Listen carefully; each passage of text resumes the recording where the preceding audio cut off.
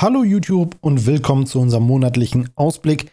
Was ist im Monat Mai innerhalb von Microsoft 365 zu erwarten? Was gibt die Roadmap her?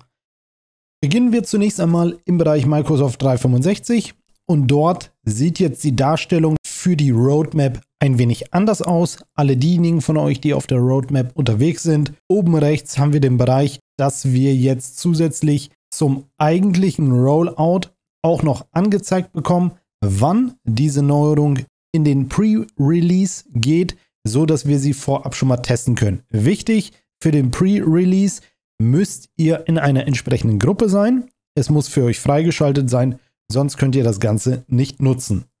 Springen wir einmal weiter in den zweiten und letzten Bereich für Microsoft 365 und das ist die Einführung einer neuen Filterfunktion für die Quarantäne, die da heißt Admin Action. Links habt ihr die aktuellen Filtermöglichkeiten.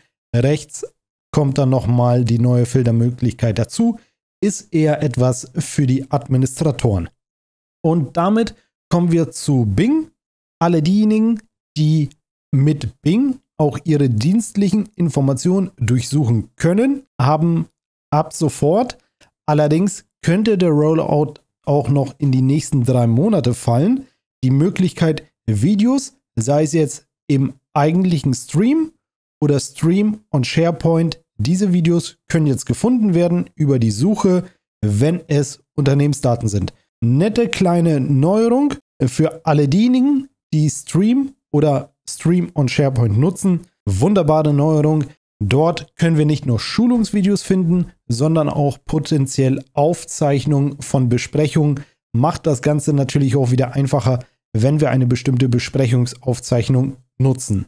Aber wie gesagt, der Rollout könnte ab heute noch bis zu drei Monaten in der Zukunft liegen. Ich hoffe, ihr seid diejenigen, die das möglichst früh nutzen können. Kommen wir einmal in den Bereich Lists. Dort bekommen wir neue Lists-Vorlagen, mit denen auch Genehmigungsworkflows aufgebaut werden können. Vergleichbar mit den Genehmigungen in Microsoft Teams das Ganze kommt jetzt in den Lists-Bereich. Klingt sehr schön, sehr interessant. Da wird es wahrscheinlich auch schon bei dem einen oder anderen sehr viele Ideen geben, das Ganze in die Umsetzung zu bringen. Schauen wir mal, ob das Ganze pünktlich diesen Monat released wird, wie das am Anfang funktioniert. Und ich kann mir gut vorstellen, dass da im Laufe der nächsten Wochen, Monate, Jahre noch deutlich mehr passieren kann, wenn das System gut ankommt. Und damit kommen wir auch zur zweiten und kleinen Anpassung in Lists. Und das ist, dass der Filter für die Microsoft Lists Listen ein wenig angepasst wird. Hier habt ihr einen Screenshot, wie das zukünftig ausschauen könnte. Und damit kommen wir zu einem Neuling und das ist OneNote. Bislang ist es so, wenn wir eingebettete Dateien öffnen möchten, die einen gefährlichen Inhalt, gefährliche Erweiterung haben, bekommen wir ein Hinweisfeld, klicken auf OK und das Ganze kann trotzdem geöffnet werden. Zukünftig ist es so, der Administrator kann das blockieren, so dass wir komplett nicht mehr die Möglichkeit haben, diese Datei zu öffnen. In der Roadmap steht allerdings drin, wenn wir die Datei downloaden und das Ganze dann von unserer Festplatte starten, soll die Datei geöffnet werden können. Ist ein bisschen komisch, aber müssen wir mal ausprobieren, wenn das Ganze im Mai released wird, ob das wirklich so funktioniert. Aber bei den meisten Usern wird es definitiv dazu führen, dass sie die Datei nicht öffnen können und auch nicht wissen, wie man das Ganze umgehen kann. Von daher lasst uns abwarten. Als nächstes kommen wir in den Bereich SharePoint und dort wird daran gearbeitet, das Erstellen von Seiten und News direkt über die linke SharePoint-Navigation anzupassen. Wir haben jetzt hier verschiedene Bilder, die Seiten und News-Posts darstellen und wie ihr zum Beispiel auf dem Bild ganz links sehen könnt. Links in der Navigation haben wir natürlich dieses kleine Plus-Icon, was ganz unten ist. Wenn wir dort draufklicken, wird uns entsprechend auch vorgeschlagen, einen Newspost zu erstellen, eine Page, eine Site. Wichtig ist, wir müssen natürlich auch über die entsprechenden Berechtigungen verfügen, um das nutzen zu können.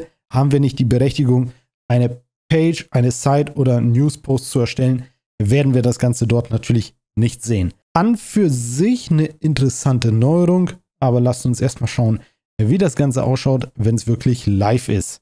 Gehen wir einmal weiter in den Bereich Outlook und hier speziell in die Mobile App von Outlook, denn dort sollen wir zukünftig Videonachrichten aufnehmen und dann auch direkt per Mail versenden können. Vom Aufbau sieht das Ganze aus wie Stream und das Schöne hierbei ist, dass es wirklich komplett nativ in die E-Mail eingearbeitet ist und dort direkt eingebettet ist, so dass wir es versenden können. Könnte natürlich auch dazu führen, dass die E-Mail eventuell ein bisschen größer ist, wenn es jemand mit der Dateilänge übertreibt. Da müssen wir uns nochmal gedulden, wie sich das auch am Ende des Tages widerspiegelt in der Dateigröße und auch in der Handhabung. Aber wenn ihr im Hinterkopf schon Szenarien hättet, um das Ganze auszuprobieren oder sagt, Mensch, diese Funktion habe ich mir schon immer gewünscht, jetzt im Mai könnte es soweit sein. Und dann kommen wir auch zur vorletzten Neuerung und zur letzten für Outlook. Hier sind wir ebenfalls im Bereich Mobile App, iOS und Android. Und diese Neuerung könnte jetzt im Mai oder im Juni auf uns zukommen. Und das ist eine Nachrichtenerinnerung. Wir sehen jetzt zum Beispiel hier oben haben wir die Erinnerung. Das ist in der Hauptübersicht. Und hier haben wir die Erinnerungsmail einmal, indem wir die E-Mail geöffnet haben. Dort werden wir nochmal drüber informiert, Mensch, dir hat jemand vor ein paar Tagen eine E-Mail geschickt, möchtest du antworten, möchtest du nicht antworten? Nochmal so ein kleiner Reminder, damit eventuell die eine oder andere E-Mail nicht untergeht. Nette kleine Funktion und ich bin mir sicher, der ein oder andere wird sich darüber freuen. Und damit kommen wir auch schon zur letzten Neuerung und das ist im Bereich Microsoft Forms, denn in Microsoft Forms soll es im Mai möglich sein, den Personen, denen wir eine Umfrage senden, auch im Nachgang nochmal die Möglichkeit geben, ihre Antwort zu bearbeiten. Das Ganze kann aktiviert oder deaktiviert werden, ist auf jeden Fall eine super Funktion, die Microsoft Forms auch nochmal einen Schritt näher an die Konkurrenz ranbringt. In den meisten Fällen wird es wahrscheinlich nicht erforderlich sein, aber hin und wieder wird es bestimmt auch Szenarien geben, wo wir den Usern auch nochmal die Möglichkeit geben möchten, das Ganze zu bearbeiten, wenn sie es schon mal abgesendet haben. Für alle diejenigen, die darauf gewartet haben, freut euch, jetzt ist es soweit. Und damit sind wir auch schon durch mit den Neuerungen. Ich hoffe, für euch war wieder das ein oder andere dabei und wir hören und sehen uns wieder zum nächsten Update.